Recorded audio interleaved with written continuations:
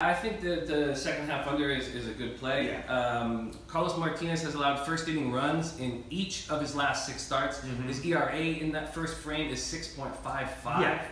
That's uh, I mean, just in general, he's been pretty pretty bad recently. Just in general, yeah. Or, Yeah. so, or, or, or I should say, less awesome than he was. Uh, you know, he was he started the year awesome, legitimately awesome, and then he regressed significantly to subpar. I mean, he's on an auto fade right now. But he's definitely been struggling.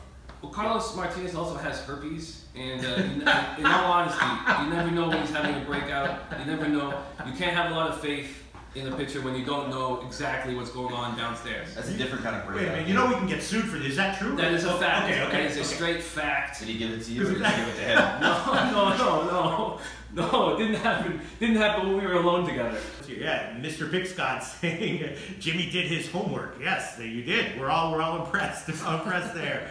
All right, let's see comments. If you oh wow, herpes. Wow, there you go.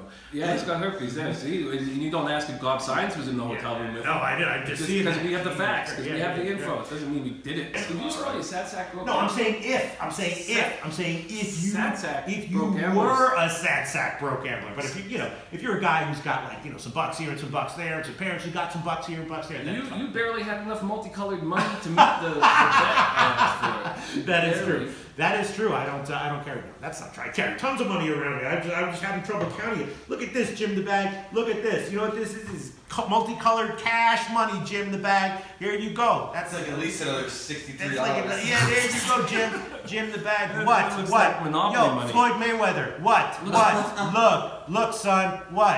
What you got, Floyd? I got this, son. It looks like Canadian Tire money. Multicolored money. What? You think I give a fuck about money? I don't give a fuck about money. Oh, All right, there you shit. go. About money. The Yeah, fuck out of here. No, you know, one time I went to an SBR bash and I, uh, I, I, I, I said, "You think I give a fuck about money?" And I threw all my money in, into the air, and everyone was filming it. And then I got really scared and I ran on the floor, crawling around, picking up every dollar. And uh, that was one of the most popular videos of that bash.